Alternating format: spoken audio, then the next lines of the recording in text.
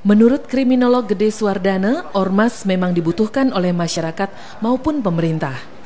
Bahkan pemerintah pun telah mengatur keberadaan ormas tersebut melalui Undang-Undang Nomor 17 Tahun 2013.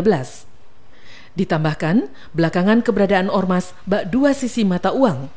Ormas dibutuhkan oleh pemerintah untuk mensukseskan pembangunan.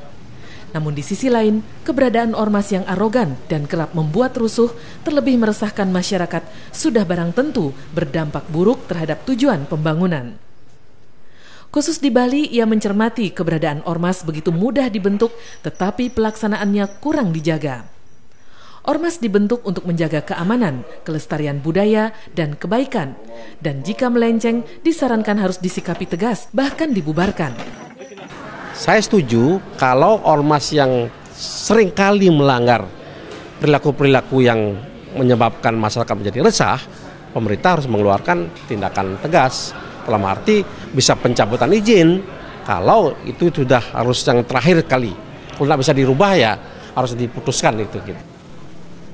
Lebih lanjut, Gede Suardana menambahkan, pendidikan pada anggota ormas mutlak dilakukan, dan pemerintah harus tegas apabila ada ormas yang bermasalah memberikan peringatan tertulis bahkan pencabutan izin ormas apabila terjadi bentrokan. Dewa Priyana, Kompas Dewata.